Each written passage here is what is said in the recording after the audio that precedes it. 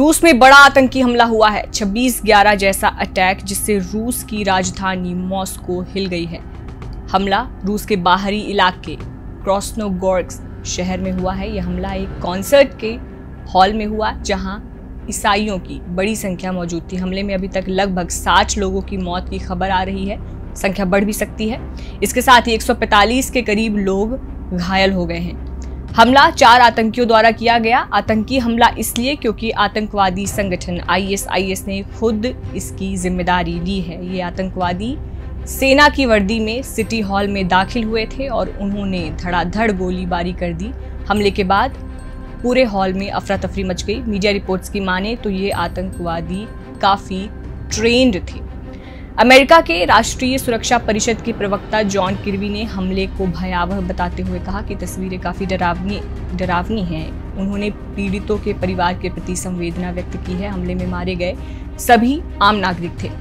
भारत की बात करें तो भारत और रूस के रिश्ते हमेशा से ही बेहतर रहे हैं। रूस यूक्रेन युद्ध के दौरान लगातार अमेरिका के प्रेशर के बावजूद भारत ने रूस के साथ अपने रिश्ते को लेकर मजबूती बरकरार रखी थी और अंतर्राष्ट्रीय मंचों पर भी खुलकर इस बारे में भारतीय विदेश मंत्री के द्वारा बेहद स्ट्रेट फॉरवर्ड और क्लियर स्टेटमेंट दिए गए थे।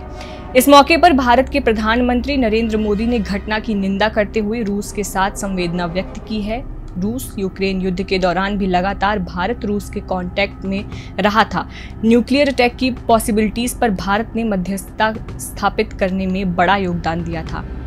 हमले के बैकग्राउंड को देखते हैं। कुछ ही दिनों पहले व्लादिमीर पुतिन राष्ट्रपति चुनाव एक बार फिर से जीते हैं और ये छोटी मोटी नहीं, बहुत बड़ी जीत थी। ऐसे में रूसी मीडिया आतंकी हमले को इससे जोड़कर भी देख रहा है।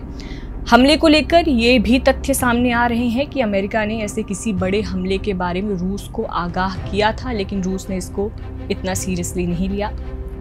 हमला काफ़ी चौंकाने वाला इसलिए भी है क्योंकि रूस पर अमूमन ऐसे आतंकी हमले होते नहीं हैं। दूसरी बात, आतंकी संगठन आईएसआईएस इस कट्टरपंथी आतंकवादी समूह ने एक दौर में दुनिया भर में आतंक मचाया हुआ था। इसकी बर्बरता के किस्से मशहूर थे लोगों के।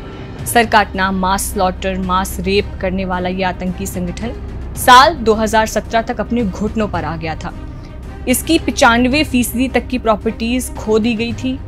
अपनी दो बड़ी टेरिटरी मोसूल और रग्गा को भी संगठन ने खो दिया था। इसके राइज डाउनफॉल और आईएसआई से जुड़े सारे तथ्यों के बारे में बात एक अलग वीडियो में करेंगे। इसमें एक किताब का ज़िक्र, जिसे मैं यहाँ सिर्फ़ नाम लेकर छोड़ रही हूँ, बात हम इस पर डिटेल में बाद में करेंगे। इस किताब का नाम है द लास्ट गर्ल ये किताब आईएसआईएस की जघन्यता का रूप दुनिया के सामने प्रस्तुत करती है। इस पर एक डिटेल वीडियो को आगे के लिए छोड़ते हुए रूस की ओर रुक करते हैं। यहाँ सबसे बड़ा सवाल ये है कि क्या आईएसआईएस एक बार फिर से पाँव पसार रहा है? और अगर ऐसा है तो ये दुनिया भर के लिए एक चेतावनी है। रूस में फ़िलहाल आने वाले सभी बड़े कार्यक्रमों को रद्द कर दिया गया है।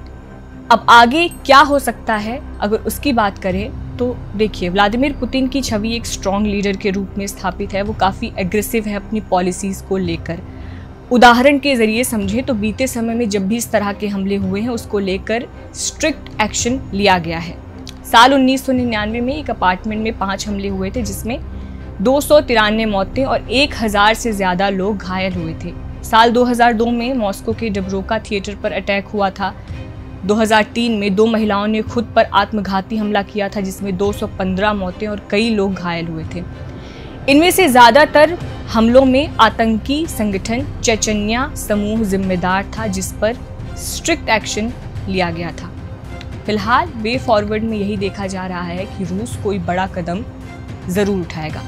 कब और कैसे ये होता है, ये देखने वाली बात होगी। बहरहाल इसका इंतज़ार सबको होगा। उम्मीद है कि हमारे इस वीडियो से आपको काफ़ी इन्फॉर्मेशन मिली होगी। वीडियो काम का लगा तो इसे लाइक करें शेयर करें और इसी तरह के और भी कंटेंट के लिए शब्द साची के चैनल को सब्सक्राइब करना ना भूलें। फ़िलहाल के लिए इतना ही, बने रहिए हमारे साथ। बहुत बहुत धन्यवाद।